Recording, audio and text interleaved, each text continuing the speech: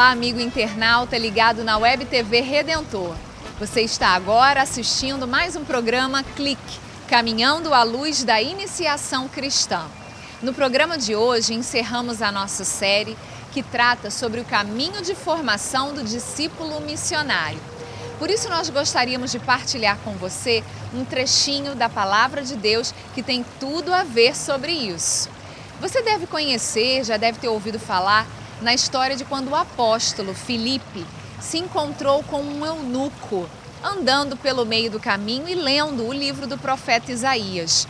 Atos, capítulo 8, versículo 30 nos diz assim: Filipe aproximou-se e ouviu que o eunuco lia o profeta Isaías e perguntou-lhe: Porventura entendes o que está lendo? Respondeu-lhe: Como eu posso entender se não há quem me explique? E pediu a Felipe que subisse e se sentasse junto dele.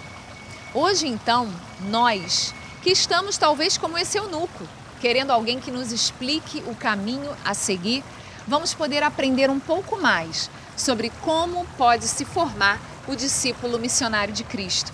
Para isso, nós temos aqui conosco mais uma vez Daniel Rios, que é coordenador das escolas de fé e catequese da nossa arquidiocese. Olá, Daniel. Olá. Daniel, nós gostaríamos que você começasse nos explicando o que a arquidiocese do Rio de Janeiro pode oferecer de concreto para quem quer se formar como verdadeiro discípulo missionário. Nossa arquidiocese, ela se preocupa com toda a formação do discípulo missionário. Começar pelo Luz e Vida, que seria o nível fundamental da fé. Um primeiro contato com a palavra de Deus, com o magistério. Num segundo nível da fé, nós temos a Escola Mater Ecclesi, que vai aprofundar ainda mais essas questões e preparar também os futuros professores de ensino religioso do estado, do município, de tantas escolas católicas. E nós temos um terceiro nível, que é o Instituto Superior de Ciências Religiosas.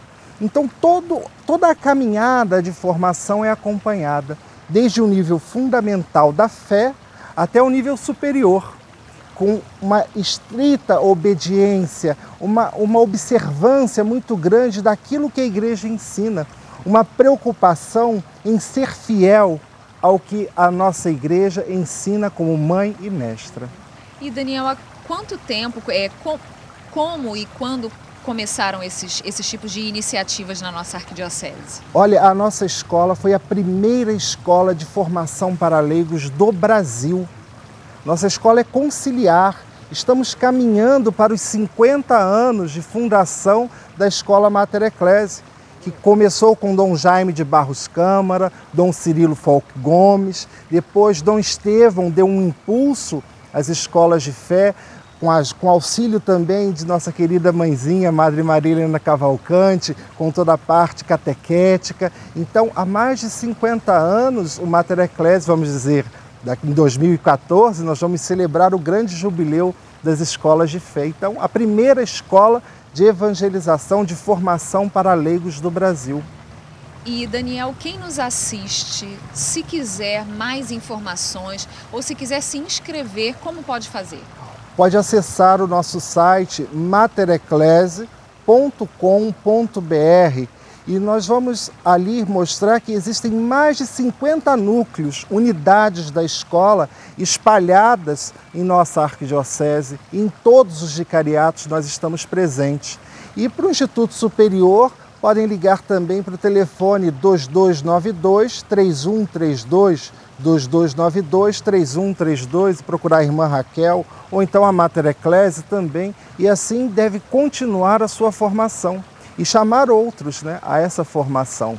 Fazer como o Felipe, né? Se vê alguém precisando de ajuda, ir subir lá na e explicar e ajudar e auxiliar nossos irmãos a esse encontro com Cristo. Que bom, Daniel. Bom saber, bom você estar por dentro do que a nossa arquidiocese tem feito.